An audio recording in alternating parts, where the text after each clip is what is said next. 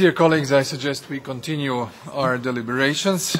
Uh, now, this part of our today's AFET meeting is again in association with the Subcommittee on uh, Security and Defense.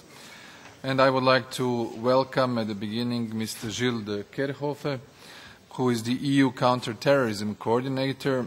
And uh, we, as you know, we have been discussing this afternoon the report of Mr. Peillon on the security challenges in the Middle East and North Africa region and the prospects for political stability, followed by an exchange of views, which you have also witnessed with the Secretary General of NATO, Mr. Stoltenberg. Later today, we will examine the AFET opinion on the use of passenger name record data, report prepared by our colleague, Mr. Arnaud Danjean.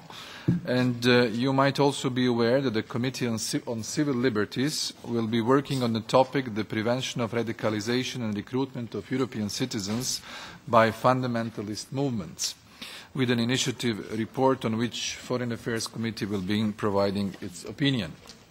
The report will focus on countering extremist online propaganda, such as social networks, online video channels and chat rooms, and cooperation on local and national level to develop measures to stop processes leading to radicalization, such as in schools or prisons. The report will also focus on tools to help individuals to de-radicalize. These areas are the very ones where the European Union is taking common action, as decided at the meeting of the European Council last February, for preventing radicalization, for detecting and removing contact from internet, communication strategies to promote tolerance and non-discrimination, and initiatives on education and social inclusion of young people. At their last meeting in March, the Justice and Home Affairs ministers, they discussed the implementation of the measures decided by the European Council. The ministers provided guidance on areas where progress is expected in the coming months, such as combating radicalization on internet and setting the internet referral capabilities or stepping up information sharing and operational cooperation. This operational cooperation entails establishing dialogue on counterterrorism measures with our partners in the neighborhood and fostering cooperation among them as well, such as was the meeting of Arab uh, interior ministers recently held in Algiers.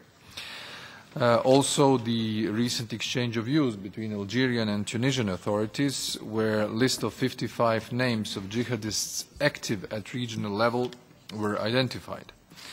Mr. de Kerchove, you will be traveling tomorrow to Tunisia with uh, Madame Mogherini and Mr. Tusk as the President of the European Council to, dis to discuss how to improve the European Union's support to Tunisia, especially after the most recent terrorist attack.